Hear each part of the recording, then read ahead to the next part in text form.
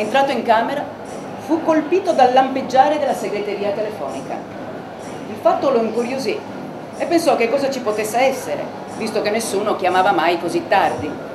Schiacciò il pulsante e subito riconobbe la squillante voce del commissario capo. Domani devi prendere il treno per Vicenza delle 7.55, passa in centrale. Prendi i documenti del caso che dovrai seguire, leggi il tutto e arrivato a destinazione chiamami. Ti devo spiegare alcune cose importanti. Buon viaggio. Visconti puntò la sveglia alle 6, prese il borsone da viaggio e vi buttò alcuni indumenti e se ne andò a letto.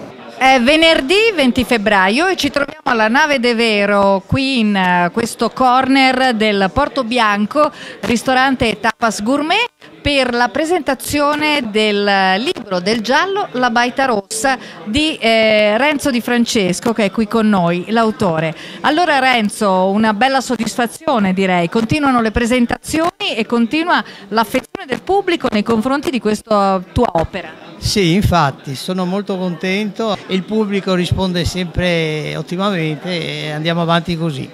Continuano quindi le storie di Marco Visconti, di questo commissario, del quale tra l'altro forse avremo modo di vedere anche uh, un film e forse anche un uh, sequel proprio del libro stesso, di cui Renzo sta già scrivendo alcune pagine e ce l'ha raccontato proprio questa sera.